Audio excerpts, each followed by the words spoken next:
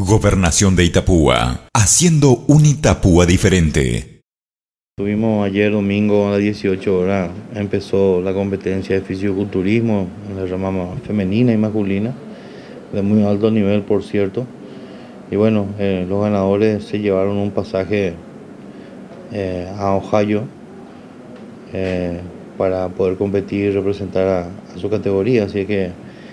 eh, muy, muy buena la aceptación, mucha gente, eh, mucho público de, nuestra ciudad, amantes de este deporte y por suerte eh, llenó la expectativa dentro que fue los espectáculos, los competidores, vinieron gente de la Argentina, del Brasil. Y eso nos pone muy contentos porque un día domingo en una hora no, no tan concurrida, vamos a decirle, por, porque hubieron otros acontecimientos deportivos que coincidieron en esa hora, pero bueno, al final se llevó a cabo y con mucho éxito. Nosotros estamos haciendo todo lo que está a nuestro alcance, señor gobernador, tenemos instrucciones del señor gobernador de,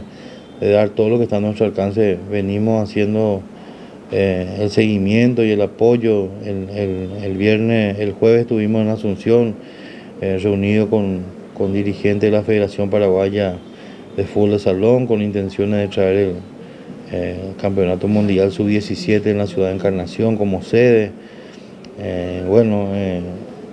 por eso también nosotros mañana martes estaríamos viajando con el señor gobernador a Concepción en el Campeonato Nacional de Mayores, ahí se daría la reunión con el gobernador y otras autoridades, se está gestionando cosas importantes. Tenemos también lo que es el Rally Transitapúa y una serie de actividades deportivas que, que comienza uno, termina otro y así es que estamos con eso y por eso creo que se está dando el, seguimiento que, realmente necesita. Gobernación de Itapúa, haciendo un Itapúa diferente.